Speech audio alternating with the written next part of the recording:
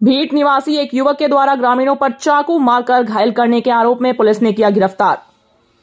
भगवानपुर थाना क्षेत्र अंतर्गत भीट निवासी प्रमोद मुखिया पर बीते दिनों चाकू मारकर घायल करने के मामले को लेकर भगवानपुर थाना कांड संख्या 215 ओब्लिक बाईस दर्ज कराया गया था।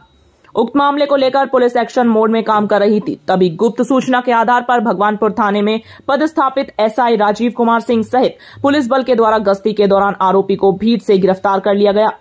जानकारी देते हुए भगवानपुर थाना अध्यक्ष संतोष कुमार शर्मा ने बताया कि भीट निवासी एक युवक पर बीते दिनों चाकू मारकर घायल करने के आरोप में उक्त गाँव निवासी रामाधर मुखिया के पुत्र बदियल मुखिया को गिरफ़्तार कर न्यायिक हिरासत में बेगूसराय भेज दिया गया है।